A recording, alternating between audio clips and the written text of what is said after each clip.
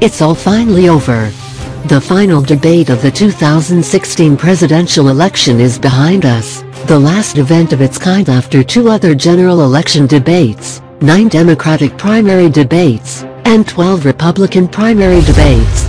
More than a year after Donald Trump began the election season in earnest by calling Rosie O'Donnell a fat pig on Fox News, the nights of chaotic sparring and inchoate yelling from presidential candidates have come to an end.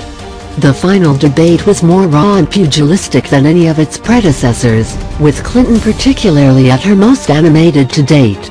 The moderating could have used some work, like when Chris Wallace decided to mislead his viewers by implying the stimulus package hurt growth, when it actually increased it, but the result was remarkably substantive, and touched on some key issues that past debates neglected.